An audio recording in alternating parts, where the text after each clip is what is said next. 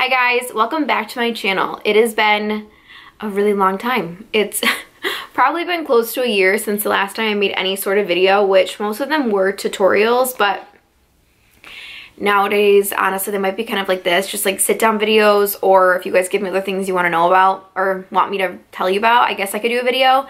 Um, a lot of people told me to do a video about how I became a makeup artist and how I began my freelance career, like where I found the passion to do this.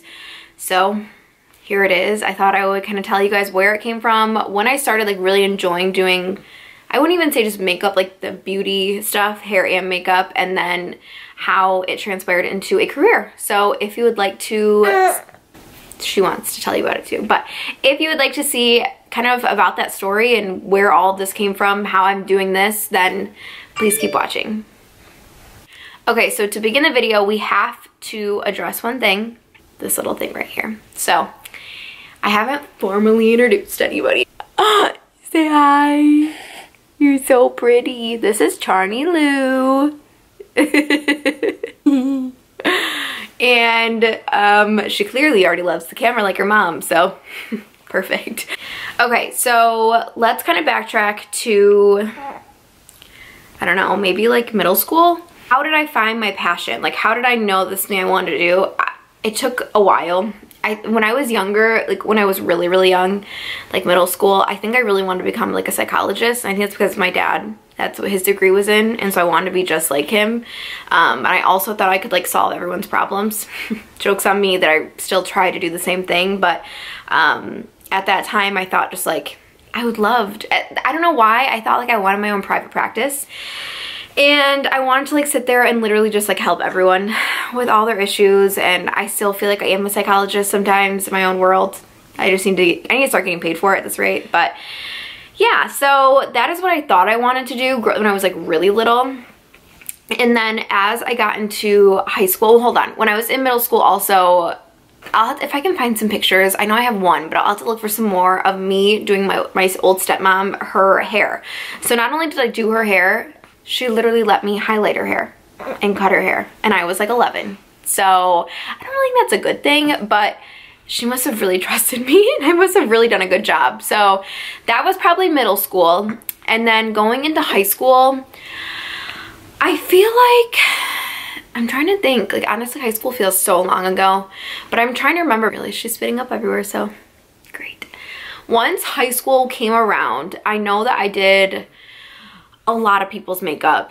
So probably, I remember for sure remember senior year, I didn't even go to my senior prom because I was so busy doing everybody's makeup that I was like literally running around like a crazy person. Was it junior or senior year? What, I think it was junior year. Mm. Yeah, I was running around trying to do everybody's makeup.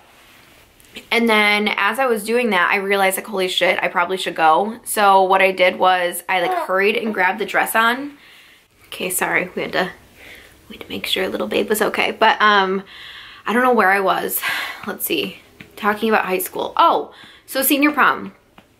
I didn't go to my senior prom and that was like slightly for the fact that my boyfriend at the time was older, but the other, he couldn't go. Yeah, that was pretty crazy. But besides that, um, I was busy doing makeup all day long. I did everybody's makeup for prom.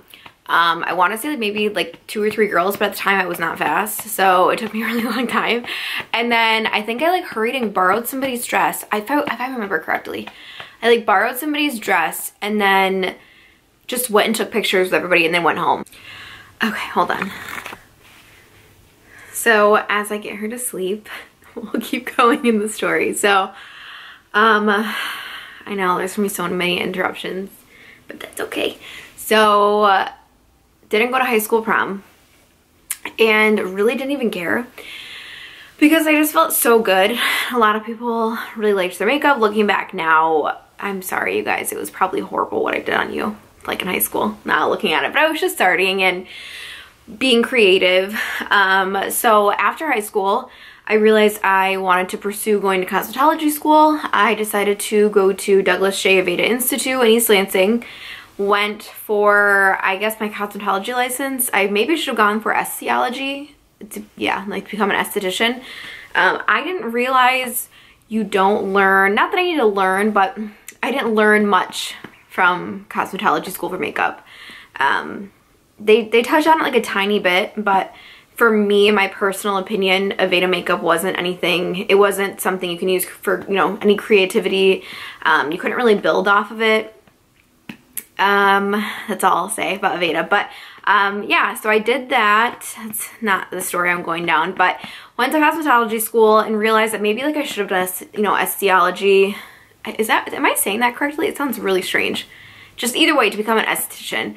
Um, after that, while I was in like estet, like becoming, oh my God. While I was in cos school, I was working at Victoria's Secret um, just trying to get by. And while I was working there, I was just kind of doing freelance, like, I didn't have any time. Like when I was doing cos school, I was working, I was in the beginning doing nights. So I was doing like four, I think it's like 4.30 to 10 and I'd work at Victoria's Secret at like 6 a.m. until like noon. And then I would like nanny or babysit in the middle and then do that. So if anything, I was doing weekends. I would like do some kind of freelance and then um, I switched to days for school.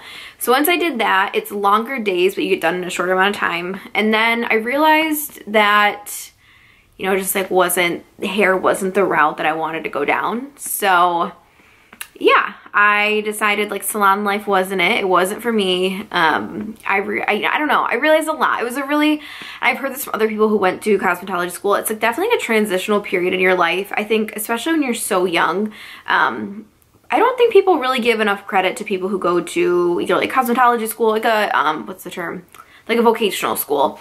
I think it's like if you don't go to college or you don't get like your four-year degree, um, it's kind of like your way out. I think a lot of people have a bad misjudgment on that. Um, I went because it was something I really wanted to do.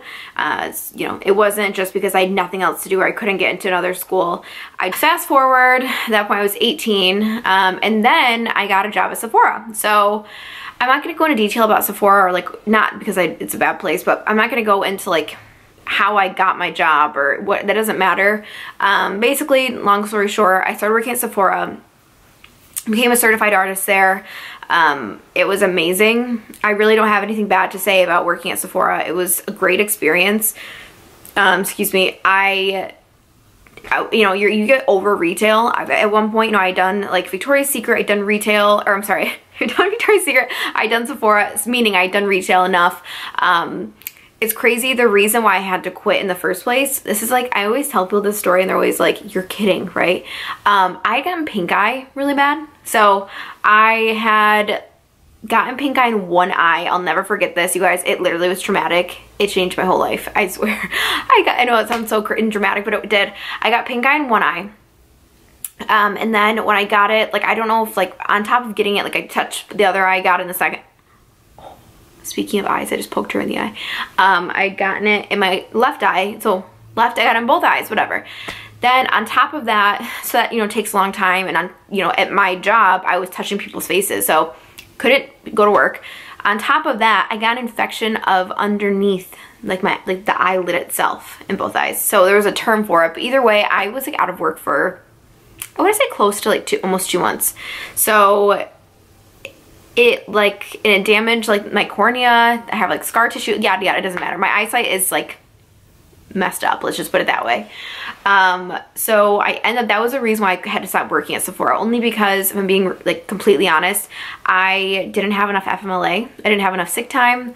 Um, I couldn't, you know, they, I mean, they can't pay me for time I'm not there. So I just couldn't do it anymore. So, but nothing but respect for Sephora. Um, I just, it's, retail's hard. It's really hard. And I'm not the kind of person, like, I don't work off of, like, sales. So I feel like a lot of, like, nowadays, a lot of things are, I'm not saying Sephora, I'm in general, just beauty in general, a lot of it is like based off sales. So it's all about selling yourself and selling a product and like Aveda, like selling, selling, selling. Um, I get that. It's not me. It's not who I am. It's not my personality in the sense that, um, I wouldn't say I don't like being told what to do. Probably, if someone's watching this that knows me, they probably like, that is exactly what it is. It's not, it's not just that. Um, especially when it comes to products, like if there's a, like if there's a drugstore product that's a lot cheaper, I'm gonna tell you instead of the YSL or the extremely expensive product that's who I am. I'm not gonna sit here and like I don't get paid for even if I was one I don't think that would ever happen but if even if I was getting paid to like use a product. I'm gonna be realistic with you. It's just who I am. I don't know. I can't lie to you. That's why I hate when there's a bunch of like BS all over like Instagram and YouTube about like products and they shove it down your throat. Um, I get like messages all the time. People are like, you should try this or try this or try Younique and try. I'm not against it and I get it. Everyone has to do their hustle. Everyone has to sell stuff. It's just not me. Um, so sorry for the rant that's not a part of the video sorry okay so um back on topic so on you know finished sephora I had gotten my certification there um realized like slowly like while i was working at sephora that i was picking up a lot more clients as well and you know, you can, when you're at Sephora, you can have clientele, but you can't technically like, take clientele from Sephora. Not that I was, but I was realizing that a lot of my clientele was getting bigger and bigger. Um, and by no means am I sounding cocky. I'm just being realistic. You know, like my clientele was getting larger and you know, you can't take off Saturdays when you're working at Sephora. Under, you know, understandably, you know, it's really busy um, and they need you there. But I, you know, was getting more clients. And at that time I was making more money doing freelance. So clients started building and I kind of like wondered at that point, like, could I make this a full-time career? The only tough part is, is that you you don't have like a lot of weddings in the winter. So um i'm actually just now starting to get more clients in the fall. It's crazy. Next year in 2019 i'm already i'm getting booked up more for the fall than i am the summer which is it's just weird how like every year is so different. Okay so moving forward um i wanted to go into more of i would say like in the last couple of years. So we talked about sephora a little bit um and how i became a certified artist and how um, I think I really grew my artistry skills there. Um, it was really nice to be able to play with a lot of different kind of makeup. Besides, like we talked about the selling aspect of it, it was really great. And I think I worked with a lot of great girls who also enjoyed makeup. I think that's one thing I truly missed about working there was being around and being influenced by other people who enjoyed the beauty industry. I went from that to working in HR for like a day job after that. And it was pretty difficult um, I don't explain it, to when you're around people who have the same passion that you do. There were definitely people there who were just working retail, but there are some really, and there still are some really, really talented ladies who work at Sephora. And you can just tell that they all have so much great talent. So anyways, it, it was definitely a great experience and I learned so much. So um, back to moving forward, um, my just my career started booming. I kind of realized how I wanted to focus more on my career. I wanted to take freelance a little more seriously. I started getting my clientele up. Um, like I was saying, in the wintertime, it was a lot more difficult. My camera is kind of, it's a little crooked here. Maybe a little slanted, maybe. Um, winter does get a little bit hard. I'm trying to think of like, well, there, I had one other question. What was it that so although I won't, there's not really much I can say about like where it's gone like previously in the sense that like there's no end to this. I'll kind of go into other questions that I got about my freelance career when people like asked me um, to make a video about this. So one question was if you were like someone who really likes makeup and you want to get started in freelance, how did you start? Um, practicing, I guess I would say. My biggest thing was like practice. I practice on anybody I can get my hands on. I still practice, whether it's myself. Uh, well, I take that back. I think a lot of my practice came from working at Sephora. So when you're a certified artist, you kind of just get handed clients all the time. You didn't get the choice to say like, no, I don't really like their face shape or no, I don't think contouring would look really good on them. Like you just get handed the clients. You don't get tipped or you don't get like paid an extra amount to do a makeover. So I think it really did force me to have to learn different face shapes and what would look good on certain eye colors, um, which I think I had the benefit of. So I do think if you were to work at Sephora, I don't, yeah, Ulta doesn't have those services, just Sephora. Um, it is a really good benefit. So practicing will be a really good tip. Um, just kind of investigating into maybe different classes you can take. Getting your name out there, I think is huge. I, you know, I do always say, working in this industry is great. I am just like on the internet, just speaking out my name and my business. And it is great and I love doing it and I wouldn't change doing it for anything. But I will say it can get kind of exhausting because you are constantly putting yourself out there for the world to see. Now again, you don't have to do that. I mean, I make that choice.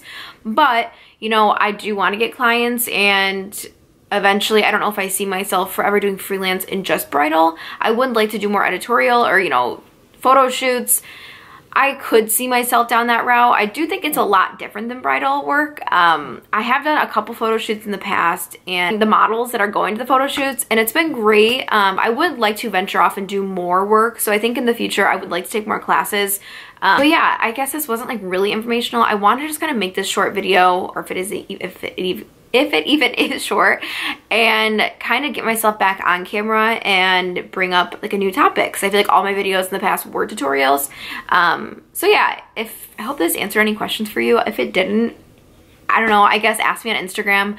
Um, if you don't follow me on Instagram and you're on from Facebook, it's Makeup by Ariella as my makeup Instagram and my regular one is just my first and last name. So ask me whatever questions and let me know some new video suggestions because I think I might be venturing out of just makeup and doing more lifestyle as well and like mommy videos. So yeah, I am glad to be on YouTube. Maybe she can say a little goodbye. Let's see. Say goodbye, everybody. Oh, she's stretching, guys. Say bye-bye. You say bye. You say bye. all right guys thanks for watching. And yeah subscribe um yeah i mean youtube's just fun. I don't really need it doesn't even matter if i'm like talking to zero people. I just feel like it's fun. And a lot of people have been saying vlogging so maybe i'll start vlogging. Maybe we'll just start vlogging. I don't really do much. So if you really want to see vlogs sure but like we literally just sit here all day and i clean. So if you want to see me clean maybe i can do a cleaning video. I don't know. But yeah Thank you again for watching and thanks for welcoming me back on YouTube. I'll see you guys next time and do not forget to subscribe. Bye.